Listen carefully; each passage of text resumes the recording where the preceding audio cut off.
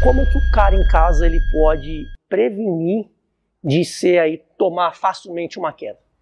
Vou mostrar o que a gente trabalha muito na defesa pessoal, tá? A gente está mostrando aqui defesa pessoal, rua, realidade. Não é competição, tá? Que é muito simples e eficaz, tá? Então o Wesley vai ser o lutador que está buscando, vai ser o agressor que está buscando a luta agarrada. Especialista lá em jiu-jitsu e tal. Primeira coisa, eu vou trabalhar sempre em base. Se eu estou eminente numa agressão, eu não fico reto com as pernas retas. Eu vou estar sempre em base, uma perna na frente da outra, flex, semiflexiono um pouco a perna e trabalho em base alta também, é guarda alta, na verdade, para você não ser surpreendido e poder atacar, tá? Muitas situações no jiu-jitsu a gente trabalha socas, trabalha cotovelada, principalmente cotovelada que é bem contundente, principalmente em pé, tá? Só que o Wesley, o que ele vai fazer? Ele vai tentar agarrar a minha perna, também conhecido como single leg, uma perna só, ou as duas pernas, conhecido como double leg, antiga baiana, também conhecida como baiana, tá?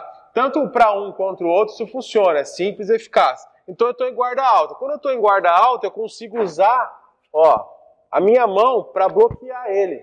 Nessa intenção. Então, novamente, então, ó, tô aqui, ó, jogo a minha perna para trás. Essa perna que eu joguei para trás que ele iria pegar, ou as duas, eu aproveito e dou uma joelhada no rosto dele, tá? Muito simples que com a guarda alta você consegue esse bloqueio, tá? Além de atacar ou se defender também usando o soco cotovelo. É um bloqueio muito eficaz, onde você bloqueia a entrada dele, já jogando a perna para trás que estava na frente, você tira aquela perna, seria o single leg, a perna que está principal para ele pegar, aproveitando para dar a gelhada. Isso é importante, você entender que a sua movimentação de perna também é fundamental né, durante a movimentação lá de perna, circular, faz um pivô, está na esquerda, está na direita, se movimenta, para que você não seja um alvo fixo.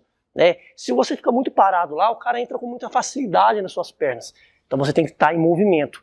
E lembrando, pessoal, isso aqui é apenas uma gota d'água no oceano de tudo que nós ensinamos no nosso treinamento 100% online, que é a fusão do jiu-jitsu para a rua junto com as habilidades de combate do Krav Caveira.